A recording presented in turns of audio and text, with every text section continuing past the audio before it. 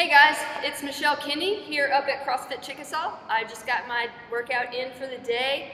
I'm pretty excited about it. If you didn't see, today's Friday, May 25th. So the workout after the skill session, which is quite the workout in itself, is 21, 15, 9 front squats and pull-ups.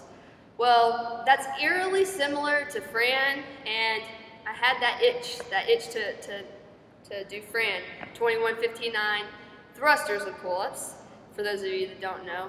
So I went ahead and did that, got a nice little PR. I'll post the video later if you're interested in checking it out. Anyway, today marks the first week here up at CrossFit Chickasaw. It has been quite the week. I've loved every moment of it. We sold out of our 50% off uh, the first 50 customers.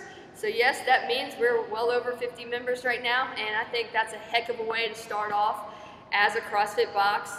I'm looking forward to training each and every one of you guys. Uh, if you ever have any questions, do not hesitate to email me, Michelle at CrossFitChickasaw.com, or approach me. I'm usually up at the gym. If you don't see me here in the morning, I'm definitely here in the afternoon. I'm always accessible, so please, please, come to me with any questions, concerns, or whatnot. Anyway, looking forward to getting this ball rolling. Fundamental starts June 4th. See you there.